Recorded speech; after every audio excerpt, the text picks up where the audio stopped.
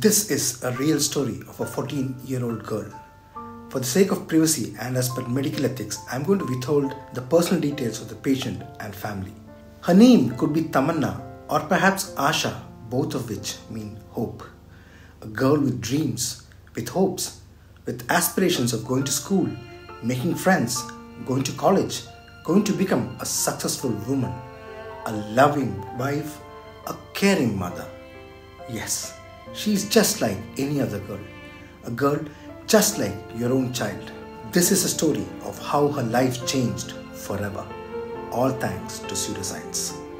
Before we get into that story, I would like to thank Dr. Abby Philip and Dr. Arif Hussain for the kind permission to turn the case history into a video. It is my sincere request that my viewers share this video with others. Hello, I'm Anand and I welcome you to Pale Blue Thoughts, a channel which promotes scientific temper and denounces pseudoscience.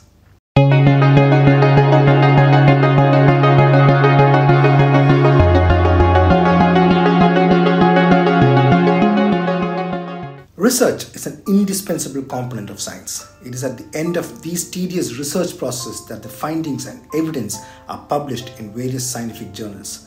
Such breakthrough scientific information and findings that happen in a corner of this world is published so that it can reach more specialists who can use that knowledge as well. In this way, every year in the field of science, thousands of scientific papers are published on diverse subjects in hundreds of scientific journals. Since such publications are highly technical and mostly are accessible only to the specialist, the general public is always ignorant about all these.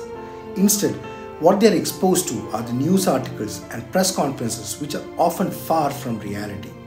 The public is in fact deceived to believe that testimonies and anecdotes are the real evidence than the researched, peer reviewed, and published scientific data. That is why it is big news when a doctor claims in the news that a nasal glucose spray can stop COVID 19 or why people believe in homeopathy as a treatment choice for infertility or why they believe Ayurveda can cure jaundice and other diseases. Dr. Abby and Dr. Arif are involved in one such clinical research center and they have already published a lot of research papers in the past few years. One such case report was recently published in the Oxford Medical Case Reports. The study was headed by Dr. Cyriac Abby Philips, a hepatologist popularly known as the liver doc.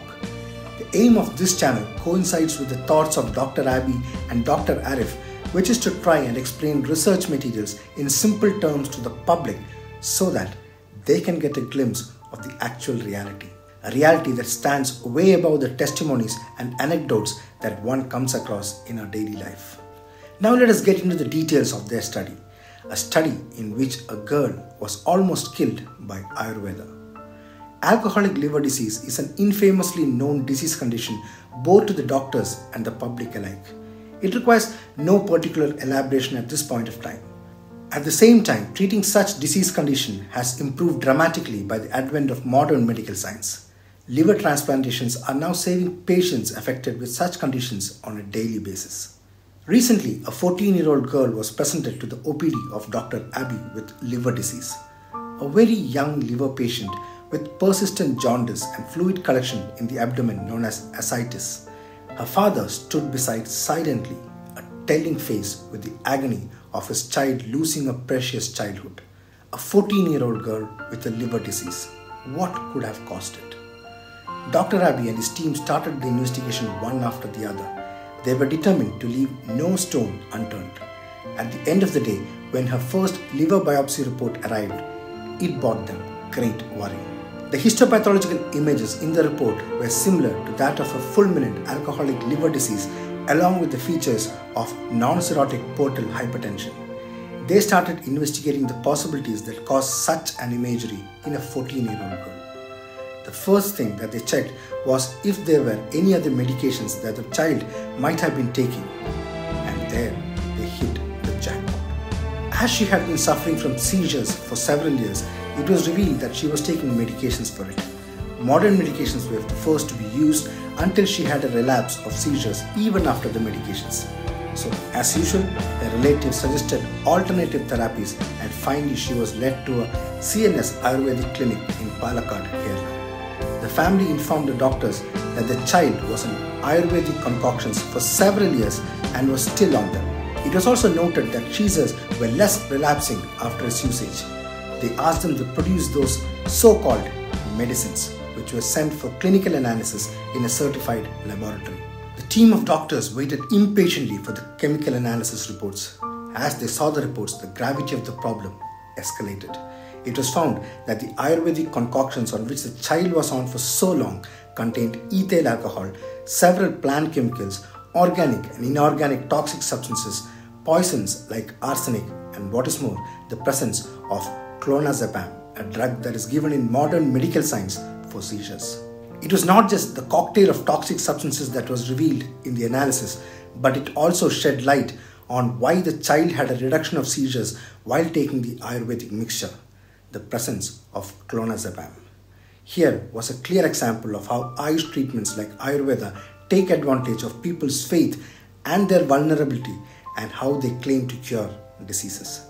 The child was asked to stop the Ayurvedic potions immediately and instead was put on modern medicines with precise dosage for seizures and other medicines for liver disease.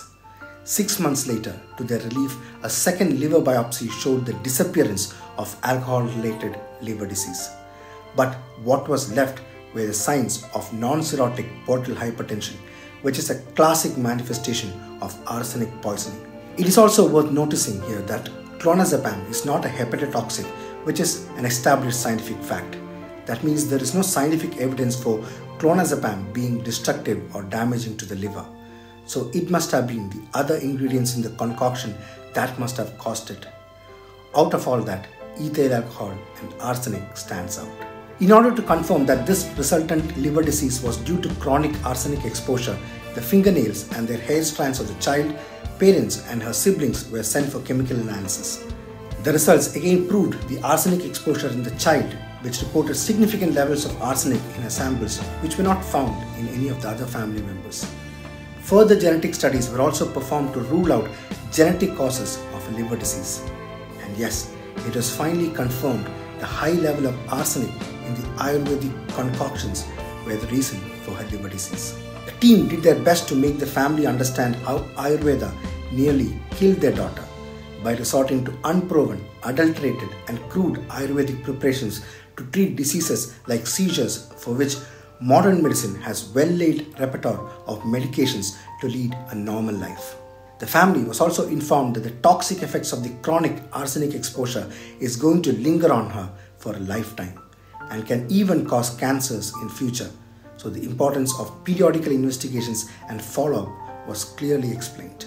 It is indeed disheartening that little children like this girl and her family are being made scapegoats in such avoidable events. Her dreams, her hopes, her aspirations all have been stonewalled due to the belief in an untested, unproven, unscientific alternative medicine system. The sad fact is that these systems are actually promoted by the government thereby squandering the public exchequer and all of our money, the taxpayers' money, apart from causing damage to thousands of people. Let there be no more such tamannas or ashas. Stay away from unscientific, untested, unproven, unreliable methods of treatment. Stay away from Ayush. The entire study report has been shared in the description box for those who wish to read it. If you find this information useful, please share it to your friends and family so that people are aware. I trust you will do that.